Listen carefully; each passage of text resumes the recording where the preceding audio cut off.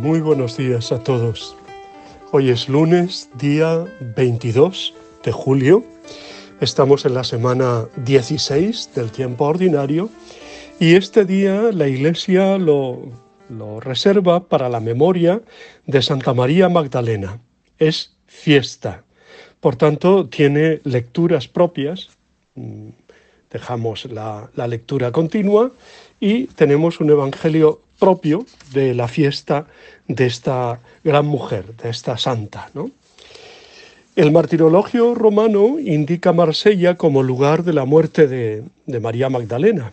Esto se basa en la leyenda no anterior al siglo XI, según la cual Lázaro habría ido a dicha ciudad con sus hermanas. Los orígenes de esta historia fabulosa hemos de buscarlo seguramente en la confusión del amigo del Señor con obispos homónimos de la, de la Galia, de Francia. Más antigua es la tradición griega que pretende que Magdalena fue a vivir con San Juan Evangelista a Éfeso y murió allí. En el siglo IX, eh, en el siglo IX, fueron trasladadas a Constantinopla sus supuestas reliquias. ¿eh? La primera persona a quien se apareció Jesús resucitado fue una mujer, María Magdalena. Bueno, seguramente, como decimos, eh, seguramente eh, la primera, primera sería a su madre, a su Santa Madre, la Virgen Santísima. Pero eh, fuera de, de, ese ámbito, pues fue una mujer, María Magdalena. Es el rasgo, rasgo que más caracteriza a la santa que hoy recordamos. No es buena la identificación que se ha hecho de esta María Magdalena con la María de Betania, hermana de Marta y de Lázaro, y también con la mujer pecadora que ungió los pies de Jesús en casa del fariseo. En la liturgia oriental, estas otras dos mujeres se celebran en días diferentes. Lo que sí caracteriza a la María de Magdala, que hoy recordamos, es que pertenecía al grupo de mujeres que seguían a Jesús, después de haber sido liberada por este de sus males, siete demonios, a la que luego vemos también al pie de la cruz, y que como leemos hoy es la primera que tiene la dicha de ver al resucitado. El Evangelio del día de hoy es Juan 20, 1 al 2, 11 al 18. Mujer, ¿por qué lloras? ¿A quién buscas? El Evangelio narra de un modo delicioso el encuentro de María Magdalena con Jesús resucitado.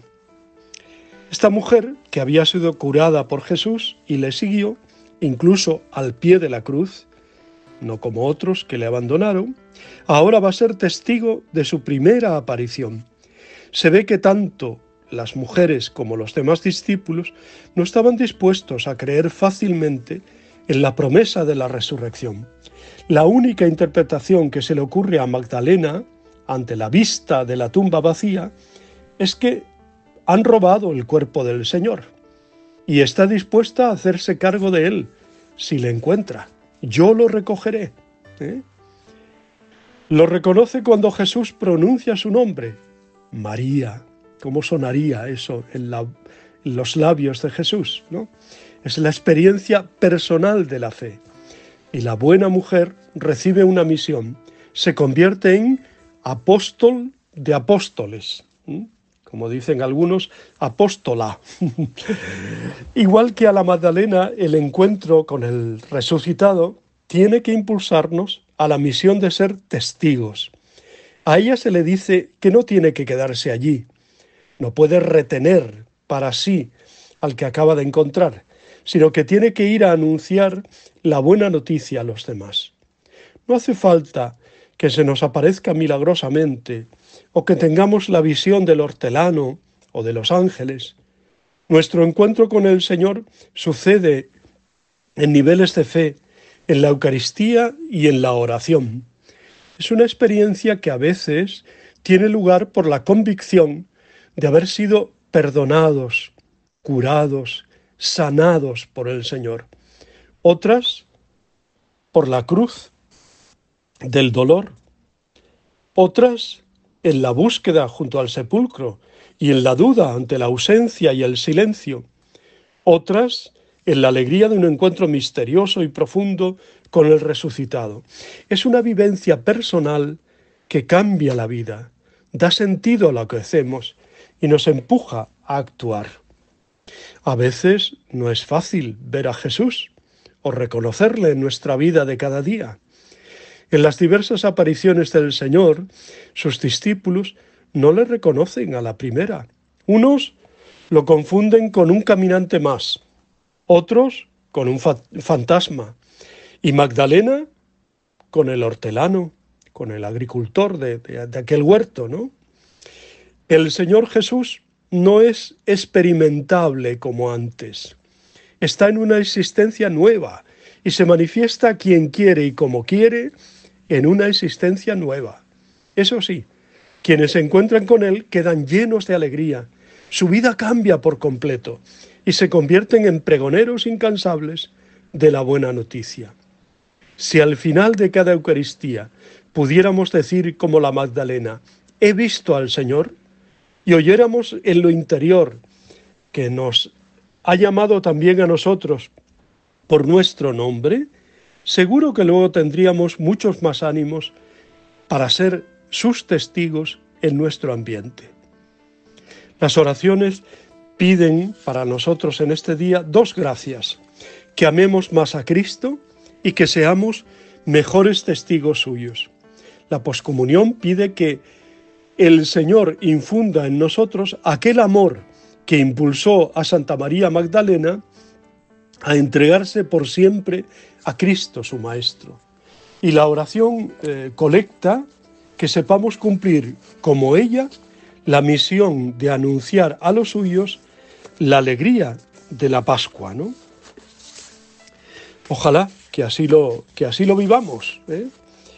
Si aventuramos una especie de protocolo para la resurrección, uno pensaría en lo de San Ignacio. El resucitado se aparecería a su madre antes que a nadie más.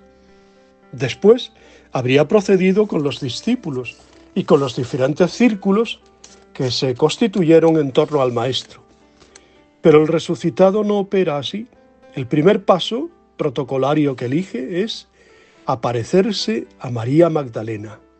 La comunidad primitiva lo tuvo claro, fue ella y no otros el testigo inicial. Hay algo en esa dignidad que convierte a María Magdalena en prototipo de creyente, y es que decide ir al sepulcro, lo que ninguno de los discípulos siquiera intenta. Es una decisión cargada de resolución, de madrugada, cuando todavía estaba oscuro.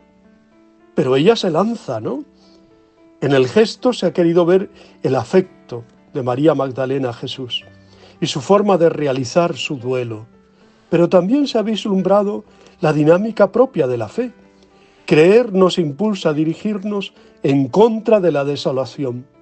No queda nada, no hay nada, lo he perdido. ¿eh?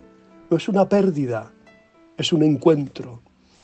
María Magdalena aborda el núcleo del dolor y penetra donde se escondió aparentemente la alegría, sin paliativos, sin epidural, ¿eh? se confronta con la tristeza.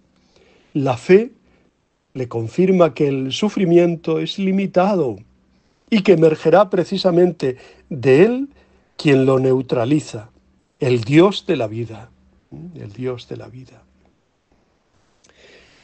Tú, tu llamarme continuo por mi nombre, siempre, siempre es mayor que mi torpeza. Concédeme, Señor, estar atento a la escucha de tu inesperada luz resucitante. Qué bonito, que así sea, ¿no? Cuantos hemos vivido un cursillo de cristiandad, tenemos esta experiencia, ¿no? De habernos encontrado con el Señor resucitado que ha pronunciado nuestro nombre y hemos vivido un verdadero encuentro con Cristo. Y por eso nuestra vida se interpreta siempre así, antes del cursillo, después del cursillo. Comienza el cuarto día que durará hasta el encuentro con el Señor cara a cara. Ojalá que sea así para todos. Felicidades a todas las que se llaman así, Magdalena, ¿eh? Y felicidades también a las comunidades, eh, parroquias, comunidades que celebran este día. ¿eh? Que sea un día realmente feliz para todos. Os abrazo y os bendigo en el nombre del Padre, del Hijo y del Espíritu Santo. Os quiero.